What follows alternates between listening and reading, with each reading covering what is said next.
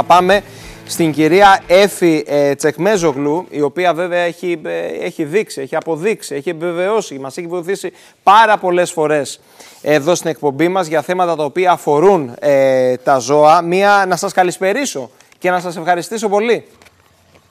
Καλησπέρα.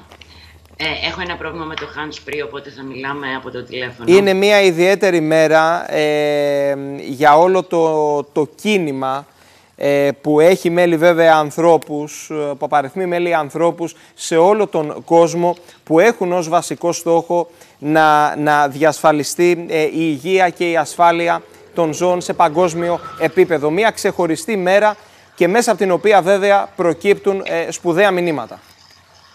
Ε, ναι, σήμερα γιορτάζεται η Παγκόσμια Μέρα των Ζώων και όταν λέμε των ζώων εννοούμε όλα τα ζώα.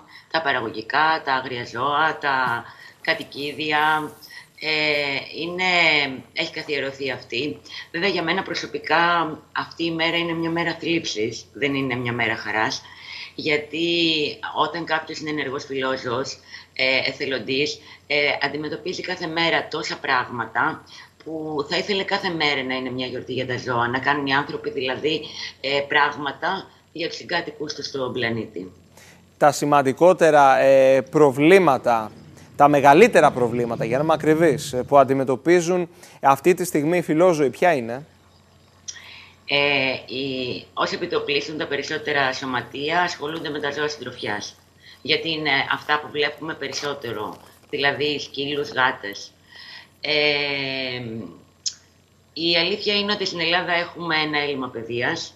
Ε, υπάρχει ένα νομοθετικό πλαίσιο που δεν βοηθάει παρόλο που έχουν γίνει πάρα, πολλές, ε, πάρα πολλά βήματα. Βλέπουμε μια σταδιακή έτσι αυστηροποίηση των ποινών και των παραβάσεων. Δεν ξέρω, ε, βοηθούν ή θα πρέπει να ξεκινήσουμε από την παιδεία, από τις μικρές ηλικίες, από την σωστή νοοτροπία; Είπατε ακριβώς σωστή λέξη. Από τις μικρές ηλικίες. Εάν ένα παιδί δεν γαλουχηθεί με κάποιες αρχές, ε, όταν μεγαλώσει, όταν γίνει ενήλικος. Και γενικά τα παιδιά ε, ξέρουμε ότι ακολουθούν πάρα πολύ τον μιμητισμό. Το βλέπουν, κάνουν. Ε, άρα, όταν μεγαλώνουμε παιδιά τα οποία μαθαίνουν να σέβονται τους συγκάτοικους τους στον πλανήτη, τότε δεν θα χρειάζονται ούτε ποινές, ούτε αυστηροποιήσει, ούτε τίποτα. Θα, τα, θα φέρονται με σεβασμό. Δεν ξέρω πόσο πίσω βρισκόμαστε σε σχέση με άλλες χώρες ή μάλλον ε, ποιο είναι το πρότυπό μας, ποια χώρα θα πρέπει να είναι το πρότυπο για την Ελλάδα; Ε, οι ευρωπαϊκές χώρες έχουν μια άλλη κουλτούρα. Μπορεί σε κάποια άλλα πράγματα να είναι χειρότεροι από εμάς, αλλά στο θέμα των ζωών και του, της ενσυναίσθησης ε, το αντιμετωπίζουν εντελώς διαφορετικά. Δηλαδή, είμαστε πάρα πολλά, ε, απέχουμε πάρα πολύ από την κουλτούρα που έχουν απέναντι στα ζωά. Μην ξεχνάμε όμως ότι υπάρχουν, παντού υπάρχουν κακοποιήσει σε όλο τον κόσμο. Σε άλλες χώρες γίνονται ευθανασίε, ενώ στη δικιά μας χώρα δεν γίνονται ευθανασίες ε, και παντού θα υπάρχουν κακοποιητές. Το θέμα είχαμε, είναι είχαμε και το πρώτο πάρκο σκύλων στο Ρέθυμνο, μία είδηση που προκάλεσε αίσθηση, ενώ είναι μία αυτονόητη κίνηση. Μίας εξελιγμένης, μία ανεπτυγμένη. Είναι μία αυτονόητη κίνηση, αλλά φανταστείτε, μην πάτε μακριά, πριν 10 χρόνια. Πόσο πιο γραφικοί θεωρούνταν οι φιλόζωοι από ότι τώρα. Δηλαδή παλιά βλέπαμε ας πούμε ένα, κάποιον με το σκυλάκι του στον δρόμο με το, και λέγαμε «Α, αυτός είναι γραφικός, α, δεν έχει κοινωνική ζωή, είναι περιθωριοποιημένος». Υπήρχε για πάρα πολλά χρόνια ε, αυτή. Τα τελευταία χρόνια την είναι αλλάξει αυτό, έχει αλλάξει. Και επίσης και τα τελευταία χρόνια έχει αυξηθεί πάρα πολύ η φιλοζωική κουλτούρα, να είμαστε δίκαιοι ε, στη χώρα μας. Όλο και περισσότερο βλέπουμε ανθρώπους να υιοθετούν αδέσποτα, να τα κάνουν μέλη της οικογένειάς τους. Μάλιστα. Ε, αναφορικά με τις ε, πρωτοβουλίες στήρωσης, σε παγκρίτιο επίπεδο που βρισκόμαστε και πώς αυτό το μέτρο πρέπει να υιοθετηθεί, σύμφωνα με την προσωπική σας άποψη. θα μιλήσω εγώ για τα Χανιά, γιατί αυτή τη στιγμή εντελώς συμπτωματικά έχουμε ένα πρόγραμμα το οποίο ε, είναι χορηγούμενο ως προς το σωματείο μας.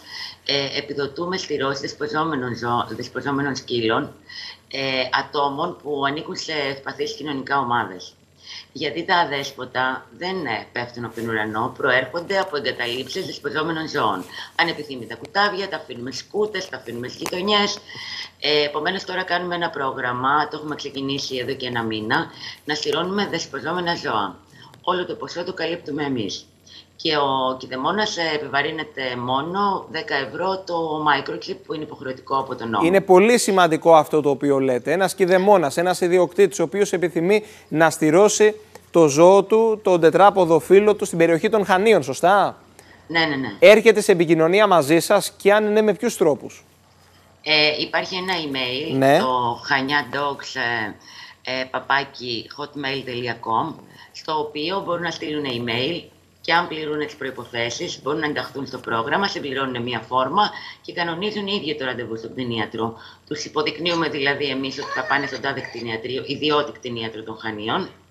Πηγαίνουν, κάνουν τη στήρωση, παίρνουν το ζωάκι τους και αν δεν έχει τσπάκι απλά επιβαρύνονται το κόστος του microchip. Μάλιστα, ένας τετράποδος φίλος, ένα ζωάκι δεν είναι παιχνίδι. Αυτό πρέπει να καταλάβουν πολλοί.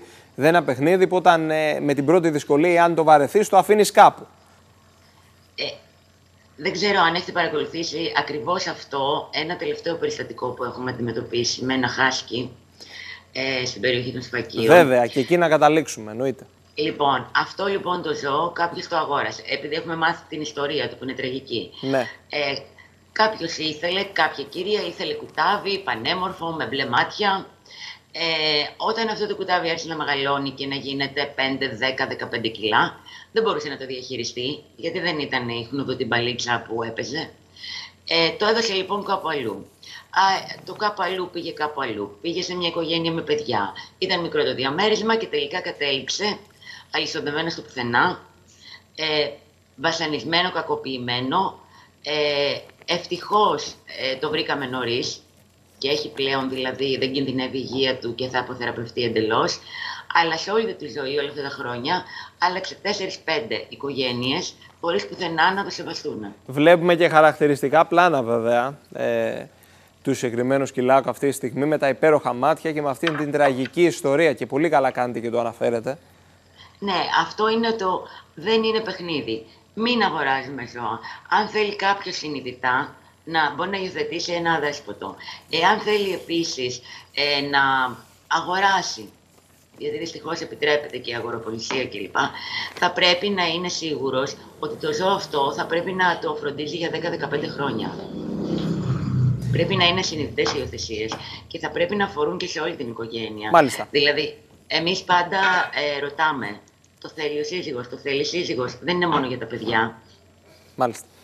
Θα ήθελα να σας ευχαριστήσω θερμά. Σας ευχαριστώ πάρα πολύ. Και εγώ σας ευχαριστώ, καλό σας βράδυ. Να είστε καλά.